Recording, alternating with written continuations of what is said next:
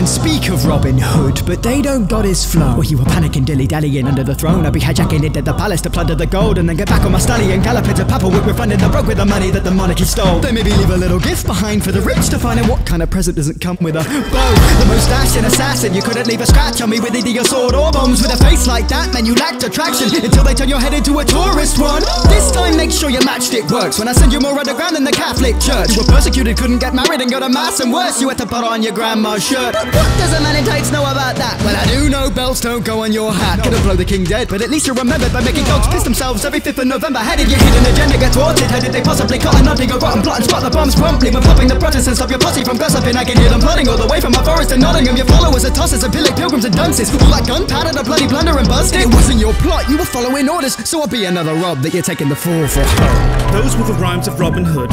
You should pill for some doper raps. But hey, you successfully robbed me of a minute of my life that I won't get back. I fought in an 80 year battle, shed blood so the Spanish flag could fly. Compare that to your little ballads, they read like a Peter pantomime of an affinity for artillery. So don't bring a bow to a can of fight. If you want to trade blows, Robin Hood, I will set you in your stock market appetite. Look at you, just ain't consistent. You hate the rich, yet your mates were richer. Evidently, you just can't take commitment. Marian still waiting for a wedding date to finish. So your aim was great with its brained equipment, but my aim was to change the system. I'm a deadly disease with this cadence rhythm, and I'm infected, a thief like it's plagiarism. For a glorified hog I expected hot stuff, but there's not much the minister son can knock up.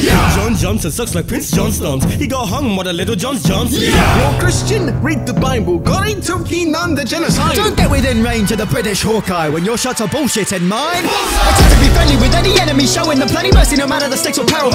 Remember, remember, the very day that I'm making a special case and I'm splitting you like an arrow. The bloody man men that I'm rolling with are the merriest. Your friends abandon you like wine with barrels in a cellar. Kid, you're not a vigilante veteran, you're a domestic terrorist. Don't need a revolution, guy, you need a therapist. You shall mock my sacrifice. The king knew that he'd have to hang me twice. Yes, they cut my balls off, and I still got bigger bollocks than a very merry man goodbye. For the torture, you'll have horses tied to every corner. The lemon foster lay pulling your torso hung drawn a quarter. Never smoke at all, though, 'cause there's only one lord I talk to. You're a dorky Zorro, the most awful outlaw to be thought as moral. So I'm board your high horse, 'cause you're a and not warm. If I can't fight a fire with fire, I've had a fox with fox.